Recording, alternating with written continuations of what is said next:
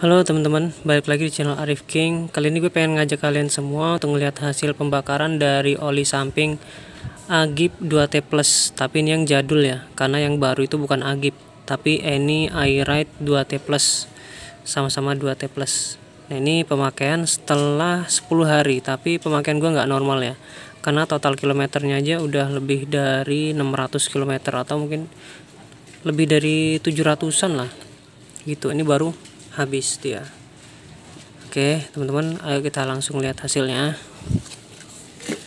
Dimulai dari head block. Nah ini head blocknya kayak gini. Ini belum gua apa-apain.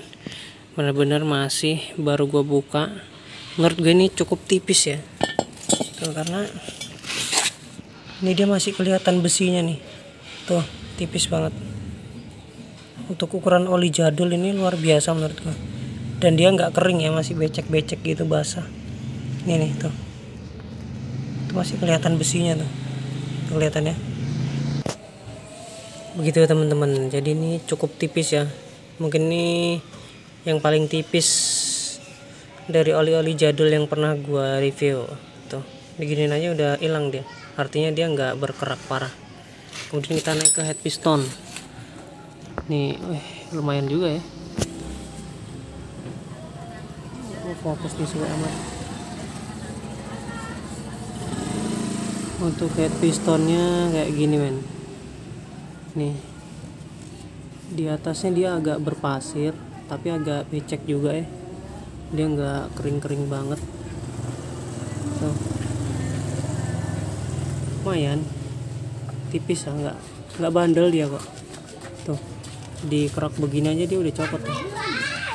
Nggak berkerak kayak apa ya kemarin ya? Lupa gua. Nih intinya dia nggak susah ya gitu. Nah untuk businya sendiri dia kayak gini. Nih untuk ukuran busi kayak gini menurut gua udah cukup bersih. Cuma dia nggak kering ya dia becek. Tapi cukup bersih karena nggak berkerak parah. Oke teman-teman mungkin cukup sekian dulu ya.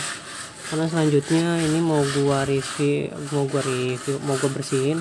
Kemudian kita akan lanjut ke oli samping selanjutnya. Itu dia.